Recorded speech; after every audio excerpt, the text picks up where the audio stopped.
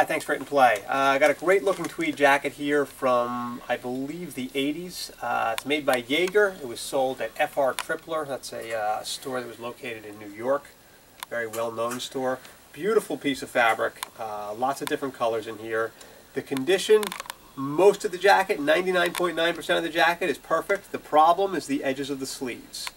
Um, there is wear. It's not to the point where you can't wear it, but it's at the point where you cannot lengthen the sleeves. The right sleeve's a little bit worse than the left. Deb, can you zoom in? Just give me a Yes. nod when it's clear. Hang on. Okay. So, you know, if you're just wearing this with a pair of beat up jeans and distressed boots like you should be, uh, it really shouldn't be that big a deal. But um, for those of you that need your stuff to be perfect, this jacket is not. But it's still, in my opinion, is has plenty of life in it, and uh, I definitely wanted to offer it for sale. Uh, selling it for a lot less than we ordinarily would because of the problem. Uh, let me get to the size. It ha- doesn't have a marked size. At the time these jackets were made, they were only putting the marked sizes on a Joker ticket, which would be on the sleeve, so that's gone.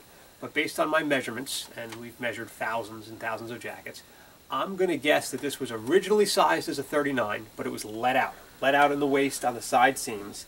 And now it kind of measures closer to a 40, still a little loose in the waist. So we put in the title size 39 to 40, and I- we did note in the in the body of the listing that it is loose in the waist. You can always have it taken back in, but this is kind of for the guy who needs a size 39, but it's got like a bigger belly than size 39s come with. So uh, not sure how else to put it. But uh, I think we said enough. If you have any questions, please send us an email. We'll get back to you as soon as we can. Thanks for looking.